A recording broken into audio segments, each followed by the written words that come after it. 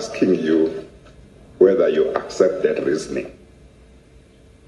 She's saying if you buy something for 3 million today and you sell it for 9 million rand tomorrow, do you accept that it means you have made a 6 million rand profit?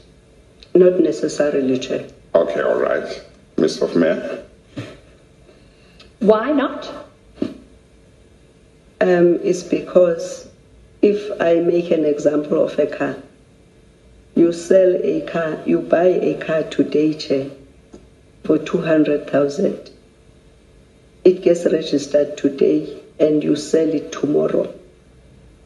You sell it tomorrow, you can sell it tomorrow at 150 because of the depreciation. Indeed, indeed. But the facts are they bought it on day one for 3 million and they didn't sell it at a depreciated value. They sold it the next day at 9 million.